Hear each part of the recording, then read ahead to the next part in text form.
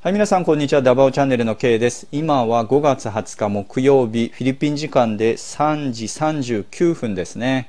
フィリピン市場の方ですけども、今日は始まりが6253ペソだったんですね。で、えー、これがもう今日の最高値ですね。ということで、まあ、始まりからずっと落ちて6197ペソですね。マイナス0.77%。まあ、5分足で見てみますと、えー、最初がこちらかうわ最初の5分間でズドンってマイナス0.3%ですねまあインデックスでマイマイナス1%でもかなり大きいのでその30%にあたる0.3%が、まあ、最初の5分で落ちるっていうのは結構衝撃的かなと思いますね。まあ、昨日が良かったんで今日、うん、その反動が来てるのかもしれないですね。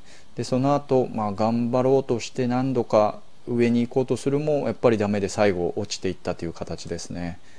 うん、6197ペソマイナス0.77%ですね。まあ、今後どうなるかですよね。まあ、一応昨日引いた、えー、こちらのブルーの線ですね。6190まあ大体なんですけど、まあ、この辺になんか壁ができてるんじゃないかなと支えられてるんじゃないかなとなので今日もまあ、大体ですけど6197ペソでとの、うん、止まってるのは、まあ、そういうちょっと壁が効いてサポートの壁が効いてちょっと止まったのかなとただまあ明日これを割るようであれば、まあ、やっぱり1月から続いているこの下落ですねこの下落の流れにやっぱり逆らえずに下に行ってしまうのかなっていうところですね。どっかでこう抗ってこのトレンドラインっていうかですねこのうん、濃いブルーのラインを超えていってほしいところですけど、まあ、今まで何回かトライしてますけどちょっと超えきれなかったですもんね。次にマーケットサマリーですね。今日は110あ失礼しました。101銘柄がアップですね。上昇で90銘柄がダウン。で50銘柄が変わらなかったよっていうところですね。で木高の方が2.97ビリオン29億株でした。でトレード取引回数の方が8万9000回。まあこれ5月で言えばいい方かなと両方ともですね。うん。まあちょっとうん。小さい数字ですけど、まあ、5月にしたら良、うん、かったのかなっていうのはありますね。で詳細がマーケットスタートスですね。モーストアクティブ。まあ金額が多かった順ですね。DITO のディトが昨日に引き続きダントツですね。倍ぐらい2位と差を分けて、まあ、金額は多かったよと。ただ、うん、昨日が28%アップだったので、まあ、今日はその反動でマイナス5%っていうところなんですかね。で次が BDO、AC、ピュアゴールド、ALI、まあ、これ全部4つともインデックス銘柄ですね。で最後、まあ、こちらですね。コンバージ後で、えー、説明させてもらいたいなと思うんですけど私が唯一保有している銘柄ですね。今日は2.36%で19.96で終わってますね。いや嬉しいな。はい、えー、次がトップゲーナーズですね。1位が MAB で23%ですね。すごいですね。ただ、まあ、金額は少ないので取引回数少なかったんだと思います。あと金額が多いので見ると BHI とかですね。久しぶりにま上位に食い込んできてくれましたね。17%18% かほぼ、うん、これ前デイトレのデイトレでよく使ってた銘柄だったんで嬉しいですね。やっぱり上がってきてくれると。エバーもそうですね。12%、まあ、11.59%あとは、まあ、金額ちょっと少なくなってきますけど LRW も10%弱ですね。あとこれも懐かしいですね。昔よく中期とか短期、うん、ダービンも持ってましたんで、うん、久しぶりになんかこのところですね。トップゲーナーズのところにランクインしてきて嬉しいですね。あとは PX も、うん、7.5%あ7ってそうですね。7.5%でいいですね。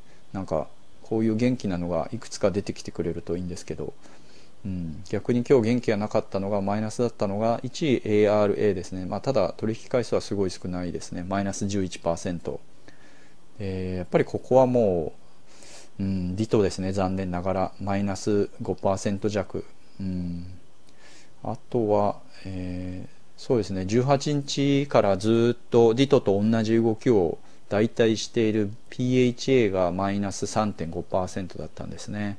うん、あと、まあ、この2つと似てた動きをしてたのは MM っていう銘柄も似てたんですけど、まあ後でちょっと細かく見ていきたいと思います。えー、っとですね、まずは上昇率ですね。一番多かったのが、えー、MAB か。ただあ、そうですよね、取引回数37回しかないので、まあ、ちょっとデートレでやるのはどうかなっていうところですね。うん、ぱりこういう4、まあ、400回、まあ、BHI かな。BHI だと900回あるんで、デートレでも良かったんじゃないかなと思いますね。朝からグーンって伸びて、これで何パーセントあるんだろう。まあ、途中から決断して入ったとしてちょっと落ちてからあここでも8%取れるんですねでビビって売れなくて最後まで持っていってたら12%取れてるんですね、うん、まあたらればですけど、あ、とエバーとかはどうだったんでしょう？あこちらも結構朝からぐーっとずっと上がってるんでうん。決断できてこう入ってずっと持ってたらちょっと落ちたぐらいで売っても10%あいいですね。あと極端にまあ取引回数下がっちゃうんでデートレとしては難しかったかもしれないですけど LRW ですね。うん。これもまずっと上がってたんですね今日は。なので途中でどっかで入ってたらまあ5%ぐらい取れてたかもしれないですね。うん。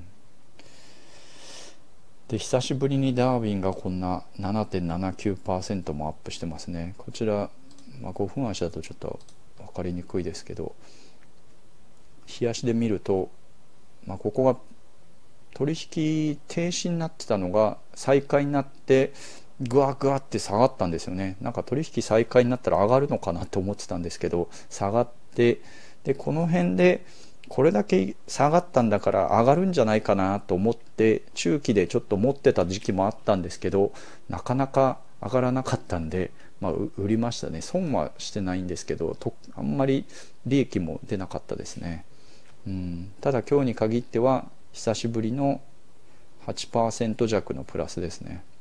この、うん、これをきっかけにまた3ペソを超えるで上に上っていってくれると面白いとは思うんですけどあとは、うん、PX も今日良かったんですね。取引回数1000回で7.56%これもなかなか落ちるかなと思って落ちないですね。うん。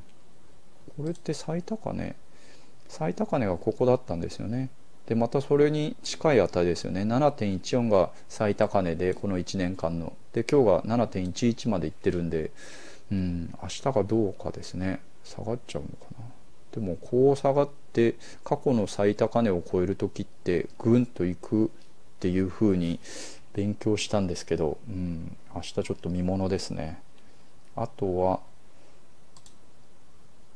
あ PR IM もですね。これ結構まあ、この辺でですねデイトレとかよくやっててで最後が、まあ、ここですねフィリピン市場が50%とかでストップ高ストップ安ですかね停止になるんですけど、うん、この時プラス47%まあ実質もほぼほぼ50%ぐらいまでプラスで上がっていってたんですよね。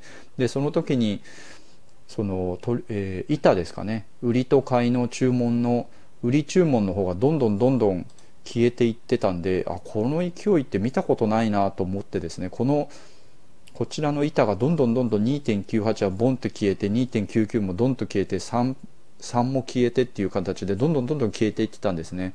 でそこで朝朝1回入って10%で次にあこれまだ同じような勢いだなと思ってもう1回入って10%それが私のベストゲームでしたねデートレとしては。うん。もう1回なんかあれを体験してみたいですね。すごかったんですよね。で、えー、と続けていきますと今度マイナスを見てみましょう。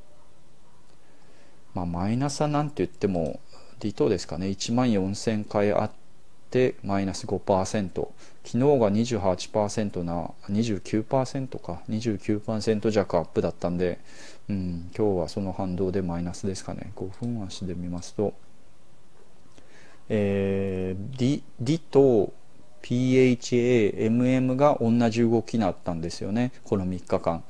18日の11時ぐらいからずっと、まあ、ここでちょっと下がったりはしたんですけど、まあ、基本上がっていってで今日が9時30分から40分45分ぐらいまではまあ良かったんですかね。そっからがガツンってきちゃってうん。でリバウンドでここで半分ぐらいまで戻したんですけどちょっと上がりきれなくてガツってまた下がってちょっと上がってまた挑戦するもまあ半分超えられずに、まあ、もう落ちていったという感じでしたね。うん。どうなるんでしょうねこれは。明日以降。また下がる傾向になるんですかね。次がまあ、こちらですね。PHA の方もディトと同じような動きしてるんでですね。5分足で見るとこの18日の11時からずっと上がっててちょっと下がる時もあったんですけど基本上がってきてて今日の朝ですね。こちらは9時最初の5分間だけ上がったのかな。でそこからはずっと下がって、まあ、ちょっと上がり半分ぐらいまでもリバウンドで戻すもまあダメで、うん、落ちていったっていうところですね。で次は取引回数で見てみますとまあダントツはディットだったんですね。10あ1万4000回ですね。2位のピュアゴールドが4480回だったんで、うんだまあ、1万回以上の差をつけてますね。